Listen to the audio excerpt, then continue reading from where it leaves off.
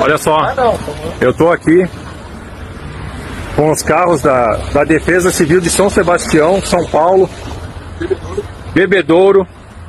O pessoal veio de lá para cá para nos ajudar e hoje chegou uma ordem da Prefeitura de São Leopoldo para acabar com eles, com o serviço deles aqui no estado, principalmente na nossa cidade. Eu conversei aqui com, com, os, com o pessoal dos resgates. Tem gente chorando porque para eles essa é a vida deles, salvar o povo.